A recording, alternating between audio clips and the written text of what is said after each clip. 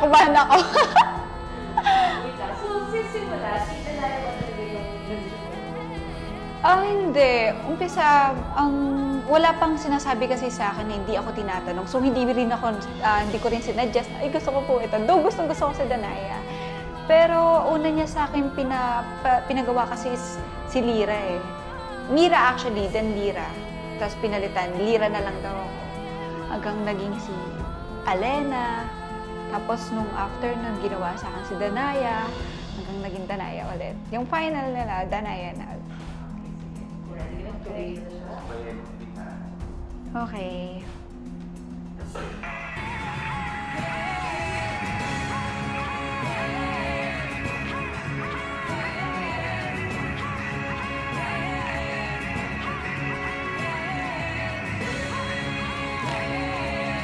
Payat ko dito, ha?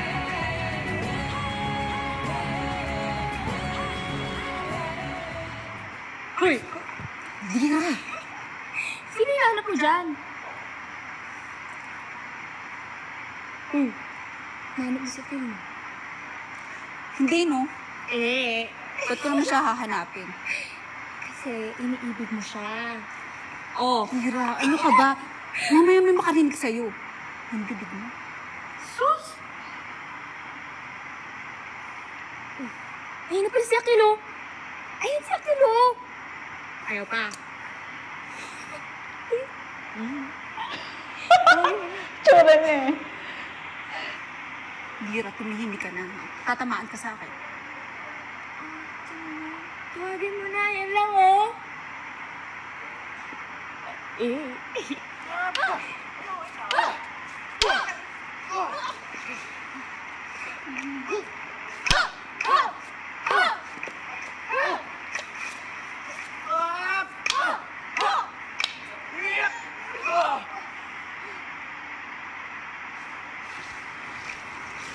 Akil, Sandra Danaya, may kailangan ka sa akin? hindi ko nagustuhan ang ginawa mo kanina. Bakit ka magpapamatay para sa kabilat? Ang kabilan ay isang mahalagang armas ng kaaway. Kung ito'y mawawala sa kanila, ikatutuwa ko. Ayoko nang maulit ito. Hindi ka pa dapat mamatay.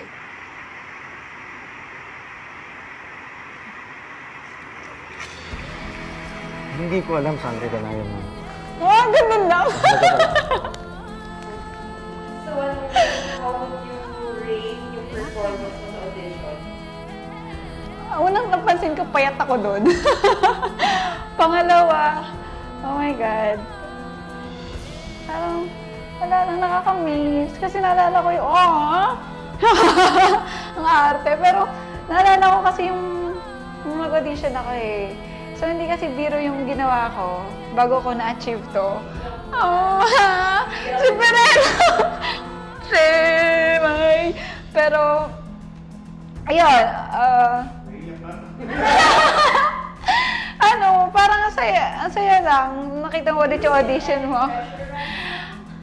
I don't feel any pressure right now. And this is my first time to join this pageant. Pag hindi hindi, nakakaano lang. Nakaka... Siguro, syempre, ako to. I-rate ko syempre yung sarili ko ng 100%. Ako to eh, syempre, naniniwala ako sa sarili ko. Pero, thank you kasi naaalala ko lahat bago ko na-achieve to. And thank you po sa lahat ng sumusuporta sa akin. Kinis!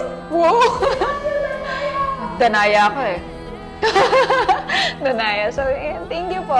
Nung pinapanood ko siya, kahit nung nakipag-usap ako kay Lira, hindi pa ako yung masyadong Danaya. So, nafe-feel ko na parang, ay, may kulang pa. Ganito na si Danaya ngayon, ganito ka lang makipag-usap kay Lira. So, na-compare ko lang na yung pakipag-usap ko kay Lira ngayon, iba doon sa pakikipag-usap ko sa Lira dito. Yung pangalawa naman, napansin ko yung fight scenes ko. yung mga fight ko dito, parang, ay, ang lata niya. Pero, pili ko dati, ang galing-galing ko. Pero nakita ko dito, ay, ano ang tawag dito, kulang pa pala. Daw nagagawa ko, pero iba yung ngayon. Kumbaga, mas mas na nakuha ko agad ngayon, mas nagalingan ko pa yung pagiging sa fight, yun, ang pag-aralan ko lahat. Pati yung pagsasalita ko. So, dito medyo malamaya pa magsalita si Danaya kasi hindi pa niya napag-aaralan yung character niya. Pero this time, nung napag-aralan niya, mas meron kang parang lagi kang may right dun sa sinasabi mo. Parang lagi may pinopoint. Ganun. Last na, ito ba yung first major project mo? Mm-mm. Tapos parang, how grateful are you na yung first major project mo pa isang napakalaking show doon na inantan? Sobra, sobrang, I feel grateful talaga, sobra. Kasi ito yung unang binigay sa akin na malaki yung role. Tapos, ito pa yung pinaka sikat na, I mean, ito yung tumatak sa tao na fantasy, yung Encantadia. Na before, fan din ako ni Danaya, na ngayon ginagampanan mo na parang, oh, sarap sa feeling, parang gano'n. So, sobrang blessed ako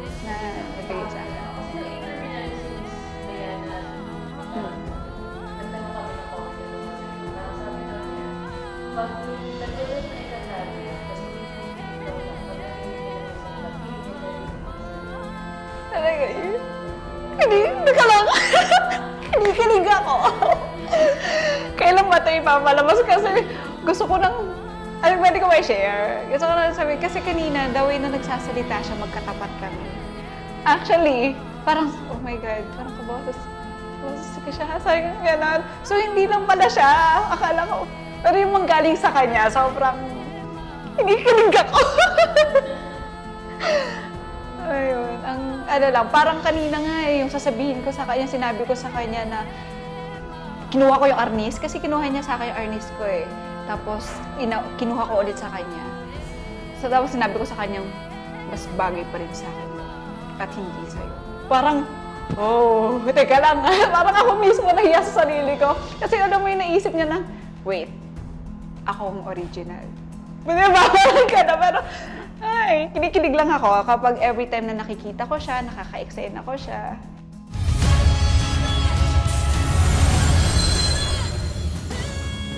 Mga Encantadix, kung meron kang na-miss na episode ng Encantadia, maaari mo na siyang mapanood ulit online. Just go to www.encantadia.com.ph